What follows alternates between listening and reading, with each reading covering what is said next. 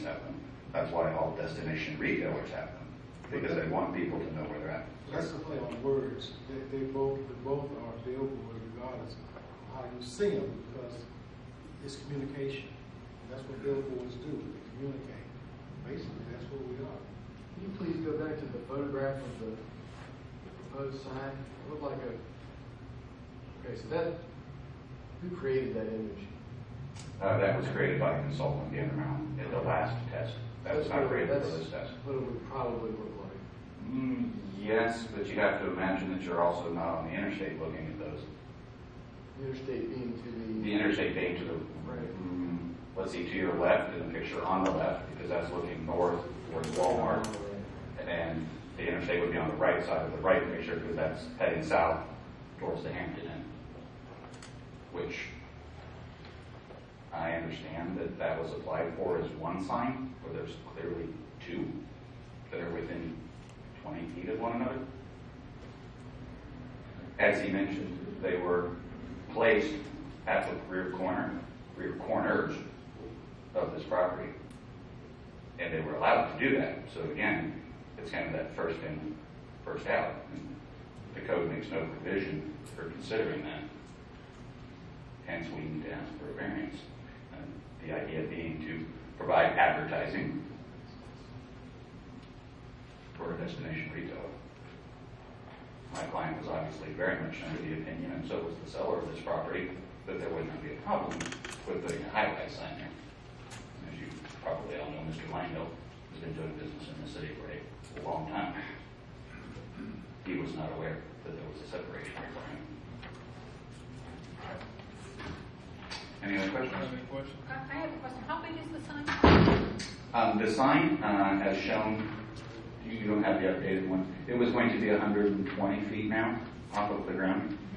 And the sign area was not going to change. It was going to remain at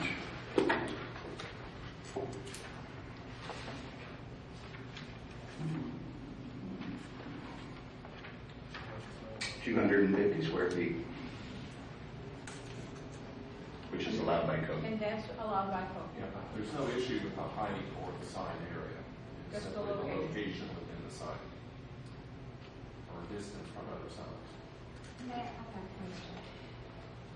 Since there is no area that he can put a sign by right, the way the property is now, do you feel, fr- do you feel fairly certain that some place could be found with a smaller variance, like the two circles depicted? That's why we were looking at that possibility. So you feel like there's something that y'all would be able to work with, with them that would not tie their hands? And also allow for a future development if Cheddar's going to come back in or the other neighbor? Because they're gonna be in the same predicament. You have the five hundred foot circle, so a lesser variance would be something greater than two hundred fifty feet from these two signs.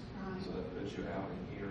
My thought was that Cheddar's could have one in their rear yard as a matter of right. and They haven't exercised that yet, and wanted to put one along here somewhere, kind of in the same spot.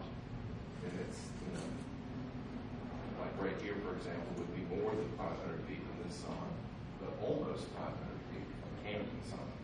It would be about the same effect as Cheddar's, if they had their sign. Would Instead that of cut them out for any future signs? It would be, then you would have to draw a five hundred foot radius from here. And that would preclude this property, at least probably that property, maybe if this work. And then it would probably preclude this one, but not the properties across the street. He does seem to have a point that it's like first come, first served, too bad we didn't buy, you know, and it seems like there's a compromise for all property owners. Uh, it's like that all through here, a lot of, there's a lot of small parcels, and there's a lot of them that are eligible for signs. Um, the billboards along the interstate, is a prime example, um, particularly, you see this a lot, you have a large parcel, say a thousand or fifteen hundred feet of frontage, and the owners will put their billboard on the corners, as long as they meet the five hundred foot spacing, there were no signs nearby originally, that keeps other billboards out from close to the top. It's a similar type of For instance, there's over a thousand foot of frontage for the Walmart, but their sign was allowed to be placed all the way in the corner. Was it that cut? It was five hundred feet, almost exactly from this sign. But it, You know, further up, they had to be five hundred feet from Sam's, because they don't interfere with the site. But their placement affected their neighbors. The entire parcel. Well, this, this, this parcel would have needed the variance anyway, because it's not even five hundred feet wide. Five hundred feet from this side is on the Walmart property. Right, right. and, I'm sorry, Matt, did you say that's the only location on the Hampton Inn site that that sign could have gone? They have a three hundred foot along. Yeah, the code requirement is their rear yard.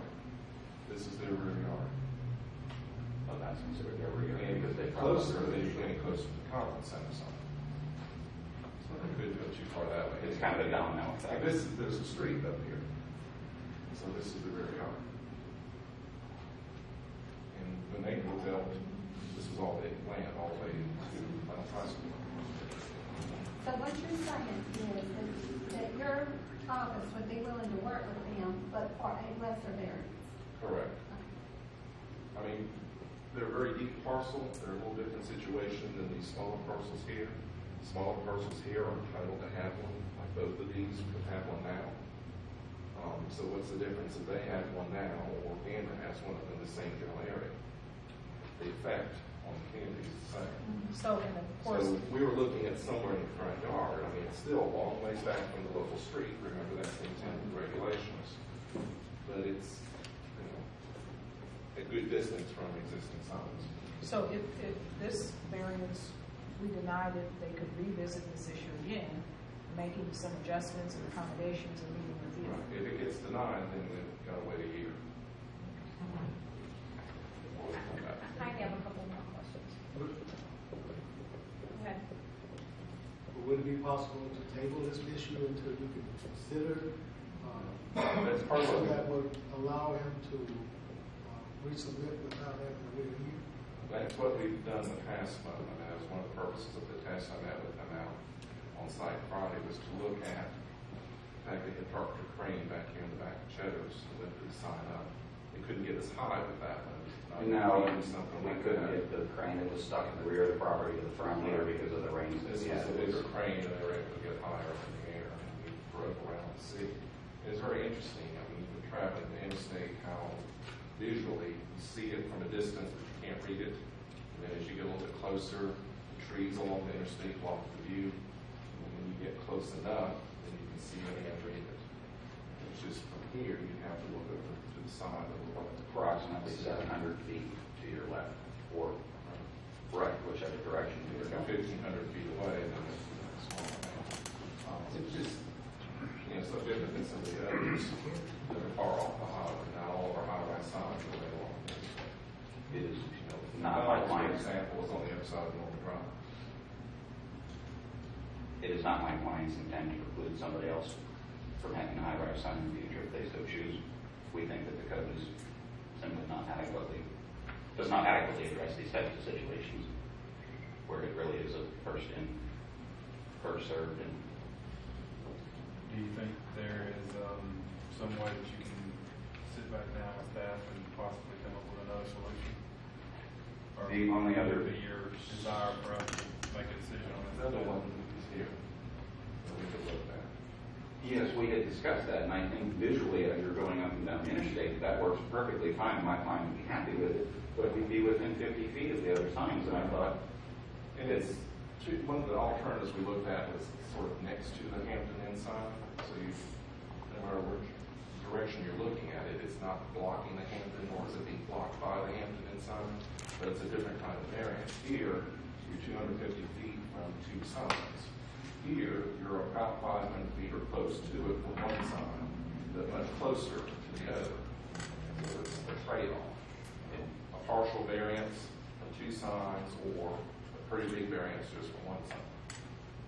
and that is a perfectly acceptable location, but I thought that, given staff's comments that you- you're too close, and trying to ask for one closer, didn't seem to make much sense, I mean, it makes a little more sense visually, and it would also, again, keep us from impacting any future high-rise signs for other development. We can start looking, you know, further up the sign, and we get back to the same area. We can amend the, the, uh, the application and take action on that today, correct? Correct, the, the variance is from that code section. So if you want to prescribe a different uh, variation on the variance, not to make it fun out of it, but yeah, uh, you can do that. And that, that is open to you. It's just a different placement, a different distance number being associated. Since our move, Clustering the two signs is a great idea. Aesthetically. I, I still have several questions. Um, if Cheddar's put up a sign today by right, would that preclude the undeveloped piece of property in the front of the Gander Mountain from putting up a sign because it's within five hundred It feet? would depend on the five hundred feet. Here's your five hundred foot distance. It looks like it. It looks like even from corner to corner, it might, it would be close. Okay. And, and if corners. Gander Mountain wanted to put one sort of where that cross X is there, um, and they came back, could you do that administratively? Would that be within, you could do an administrative variance on that? For spacing, Yeah, no, no, okay. it's not. That's a friendly requested variance at this point, is for spacing. We're in the, rear yard. Oh, we're okay. meeting the height, we're oh, meeting the Okay. sign variance. So they still have to wait a year to get an administrative variance on that? No, if, if a variance is denied, They then have the to wait property's year. locked down with another variance request for a year. Okay, But here, if you went with this, it would be a minor variance for spacing. right, But also variance to not be in the rear yard. okay. The property. All right, and so you're open to putting it over by the Hampton Inn sign over Yes. on that side rear yard? Mhm. Not needed. That sounds good. And then it's not rear yard setbacks, you would have to go with that, and prescribe a distance from the Hampton sign. Fifty feet, hundred feet, something like that. Okay. You okay with that? Yes, sir. Yes, I'm, I'm making an But- assumption that a motion will come to that. I understand. Any other questions for myself? Thank you. Is there any opposition to anything we've discussed that you've been able to keep up with? Hard for me.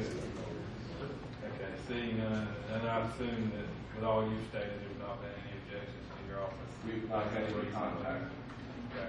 maybe some folks here in the audience.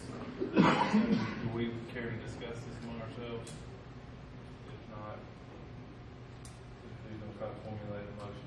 Make a motion. but I Have we don't heard from those in opposition? Oh, I'm sorry. Yeah, yeah, I asked. I didn't hear that. We got it. Okay. Almost, Harry got it, and it's not. It's in the. Go ahead, Ms. Dodge. I make a, a motion for the new site, for this sign, but I don't know how to word the location, man. You don't have to- For the For the south one, property line? right, for the south property line over by, um, Otoe. I would say in the southern side yard, a certain number of feet from the existing Hampton Inn sign. That's where you pick it up. It would be seven feet. Sufficient distance not to obstruct. And that becomes subjective as to what kind of number, I'd rather be tied number to it, or at no more than, or at least so many feet away. A hundred feet should leave enough Fifty for feet, flexibility. A hundred. at least a hundred feet mm-hmm. from the rear property property line. line. Within a hundred feet of the existing Hampton Inn sign. I would want them to be able to put it right next to it.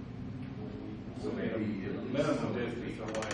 What would your number distance. be, Between fifty and a hundred feet. I'd say minimum fifty feet. Okay. That sounds good. So we, Well, fifty feet are with the five parking spaces. Basically, we don't want signs over that big if you're going down the interstate. I'm not sure how wide their sign is, but if you take half the width of the top of our sign, That's back edge of the building, or just west of the back edge of the building. Not this point. Do you think it's probably in the best interest of everyone involved that we table this? Give um, applicant an opportunity to really go out and see exactly what we're talking about? Well, I have a motion on the floor now. We- but- We did visit the site and look at this, it's just a matter, of is it fifty feet? Could we do thirty feet and not obstruct the other sign? And, and, and you- and do you know that now? And if you don't know that, then perhaps, Our sign, our proposed sign is thirty-six feet wide at the top. So we would, at the absolute minimum, need to be fifteen feet away from the Hampton Inn sign, plus half the width of their sign. Is the width of their sign forty feet? I don't know, but probably not that big. Yeah, I think it's. I think, I think you could, I think at fifteen hundred people, will be plenty of leeway for what you guys want to do. That sounds reasonable. He maybe wants to be only thirty feet. Or maybe put it as thirty feet from sign structure to sign structure, edge of sign to edge of sign, so it's not too close that way. So, thirty, yeah, thirty to hundred feet, I think is good. Would it be better to table this? They're still in the process of building. They're building very rapidly, the building's up, the curb, I mean, these site features are already here. We were on the site, um, we have to re-advertise again. and what we run up against is the um, time it takes to actually build these signs, which is quite a long lifetime. So lead time in construction, we would prefer if we can. If, we, we, we've got the general vicinity. We will not place it any closer than the penalty twenty feet apart. I know you mentioned thirty, but I think that pushes us because we're not fifteen feet beyond that, the actual sign goes. Well, I mean, there's plenty of room back here. I mean, I think thirty. I think we're splitting hairs, thirty feet, I think, yeah. Thirty and a hundred. Thirty and. Is that your motion? Okay, so the motion is that we approve the variance, uh, with the condition that it goes south of, South yard. south yard of the Hampton Inn sign and no closer than thirty feet. Once it's erected, the sign's end to end, not gonna be any closer than thirty feet. Pole, no, it wouldn't be pole to pole, because theirs is Sign to forty sign. foot. Yeah. When we look at sign setbacks, we look at the drip line signs. Okay. So we can, that's a good thing to measure with. Tracy, you understand the motion? Do I have a second? All in favor, signify by raising your hand. Unanimous, congratulations. Who's seconded it, Me. Paul. Okay. All right. Moving right along. Wells County case. Ms. Carmella?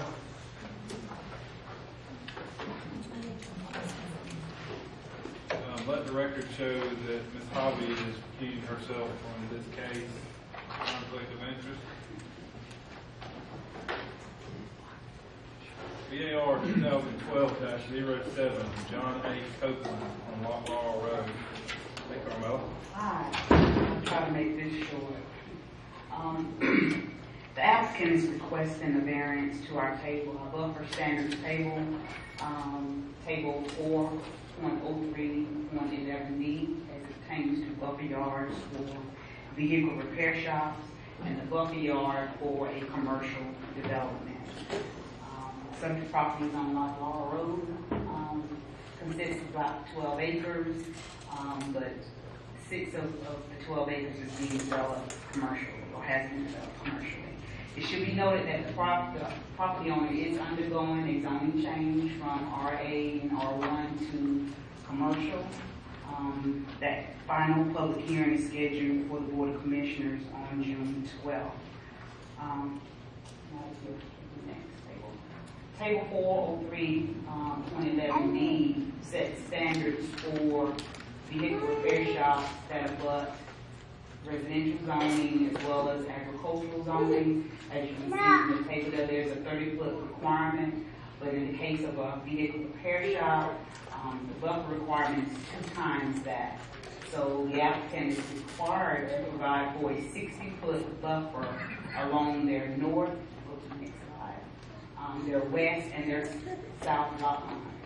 Um, as you can see there, those are the number of trees and shrubs that the applicant is required to plant.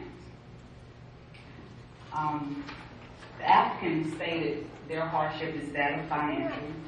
Um, and although we don't recognize financial as, you know, specifically as one of the hardship, um, reasons, um, staff did consider the history of the property, how long it's been there and operated, um, and in an effort to try to work with him as well as suit the neighboring properties. Um, staff has recommended that the applicant, um, construct a minimum six-foot-high privacy fence along the entire north boundary. Um, staff has also recommended that along the west and south lot lines, that the applicant provides for a twenty-foot undisturbed buffer. They made those, those recommendations with the four conditions you see in your packet there. Um, they have given applicants applicant some time to construct that fence due to his financial, um, reasoning. Um, January one is, is what staff recommended as far as giving him time to construct that fence. Um, and with that, citing criteria C, staff recommended approval for his variance. Any questions of. Bradley? And just for a note, there was an update um, to the time you received the staff report. We did receive a petition. To put up a copy um, at your stations there from a neighboring property. Yeah, I'm a little confused about the sequencing of this rezoning along with the variance. Okay? So, the rezoning has been applied for, Yes, sir. and the, the variance has been applied for, which, are they going in parallel, and each have equal weight? I mean, can the variance take effect without the rezoning? Actually, the, the variance becomes null and void if the applicant doesn't get his, his zoning to commercial. And when will we know that? June twelfth, next Tuesday. And in, in an effort to work with the applicant, um, we could have chosen, uh, for him to go through the rezoning first and then apply for the variance, but it would delay him another month. So we took the, app- both applications concurrently. Colonel, I have a question about the notices. See, there's an issue of May eighteenth, and the meeting was held on May twenty-first. Yes. Can you speak to that? Sure, sure. We're required to send notices out at least fifteen days prior to the final public hearing, which is that June twelfth hearing.